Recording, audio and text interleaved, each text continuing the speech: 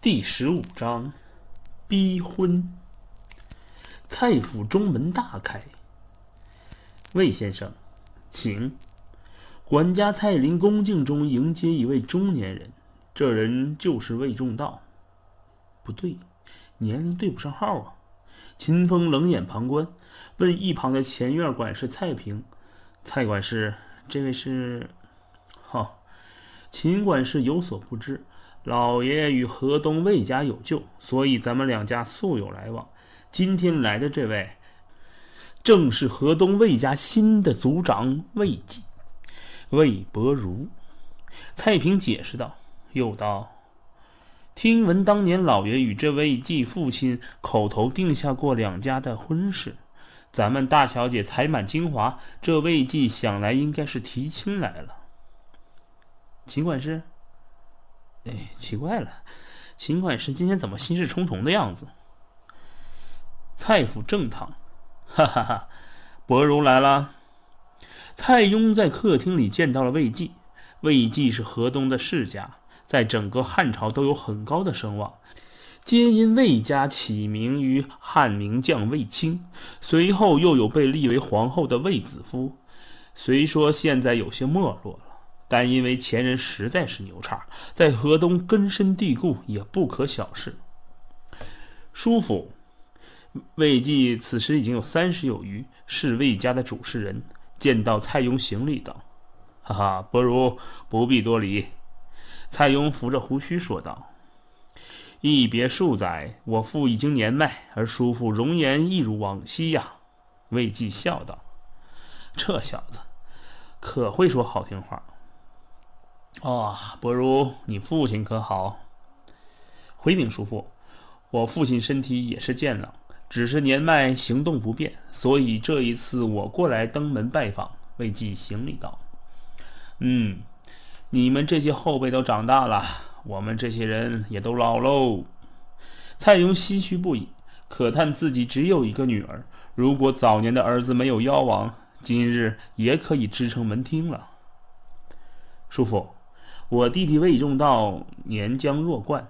素来以叔父等文人志士为楷模，志孝过人，性真静而明理。我父年迈，今日时常提起当年与叔父之约定，见我要来府上拜访，特意嘱咐务必要问一下叔父。魏继从席榻上站了起来，行了一礼，说道：“蔡邕呵呵一笑，手扶胡须，慢慢思量。这河东魏家乃是大家族。”魏继现在是魏家的主事人，受儒学传家的影响，年轻时就有学成就，以才学继称，尤其以文章而名扬于世。年轻有为，日后必有大成就。魏文姬要是嫁到了魏家，也算是有一个好的归宿啊。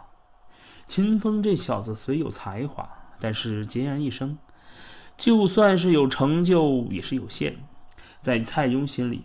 秦风自然比不上河东魏家，何况秦风还顶着蔡府管事的名头，在蔡邕心里愈加不爽。他跟文姬在一起了，哈，不如远来鞍马劳顿，且去客房休息，此事来日再议。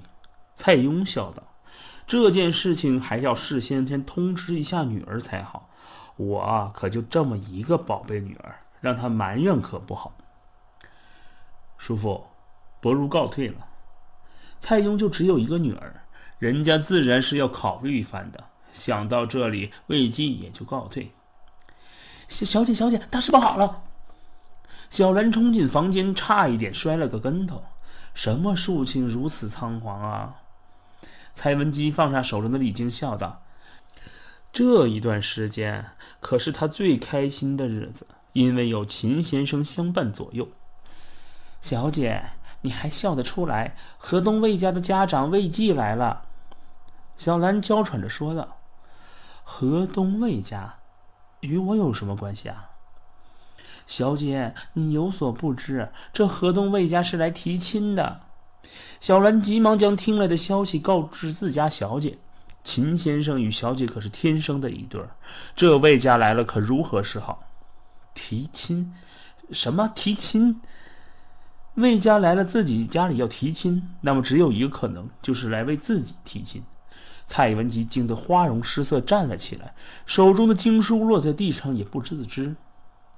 小姐，怎么办？我将秦先生叫来吧。小兰早就六神无主，转身就走。如果父亲答应，怎么办？宛如晴天霹雳。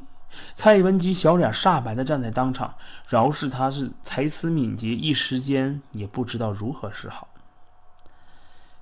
小兰姐。你这家伙别挡道！小兰内心焦急，对拦路的侍女喊道：“小兰姐，老爷，老爷过来了！”侍女惊慌的说道：“什么？”小兰急忙转身回去，急道：“小姐，老爷过来了，是不是？呃，是不是要说这件事情啊？”蔡文姬心里也已经有了决定，也就镇定了下来。这辈子我是不会嫁与他人的，我这就去和父亲大人说。秦风凄凄然心里大骂：“这河东魏家怎么早就冒出来了呢？记得当初可是董卓之乱后才有了这件事，难道是先来定亲的？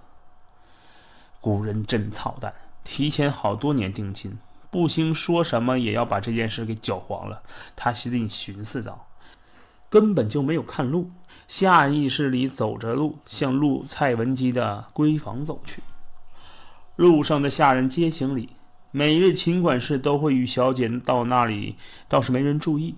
只不过今日秦管事怎么这么吓人？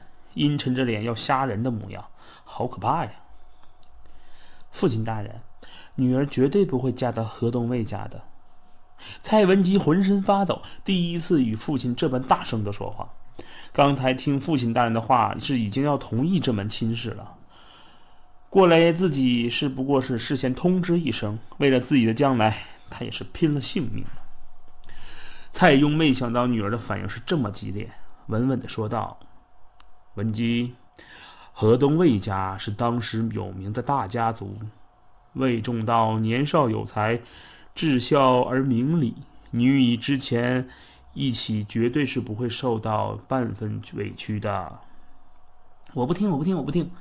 我绝对不会嫁给那什么魏忠道，让他娶别人家的女儿好了。”蔡文姬流泪说道。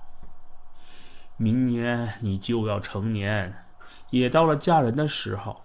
自古以来，父母之命，蔡邕就这么一个宝贝女儿，确实想要她找到一个好的归宿。我不听，我不嫁。”蔡文姬咬着嘴唇，冷冷的说道：“哼。”这由不得你，为父已经答应了这门亲事，难道要反悔不成？蔡邕也是急气急，别人家的女儿哪里会这样？哪一个不是听父母的安排？这要是传了出去，其他人会怎么看？蔡邕家的女儿是没有家教的，蔡邕这一代大家简直就是徒有虚名，自己的脸面可以说在这洛阳就丢尽了。想到此处，蔡英就有些着急。你嫁也得嫁，不嫁也要嫁。那我就死！蔡文姬一把抓过桌子上的裁纸刀，放到了自己脖子上。文姬不可！下意识就走到这里的秦风见状，惊呼一声，冲了进去。文姬为了自己居然以死相争，令秦风感动的同时，充满了深深的自责。当啷！蔡文姬的裁纸刀落地，奔入秦风怀里，失声痛哭。这一世，只有秦先生才是自己的夫君。可是，我们真的能够摆脱这世俗的命运吗？蔡文姬以目视秦风。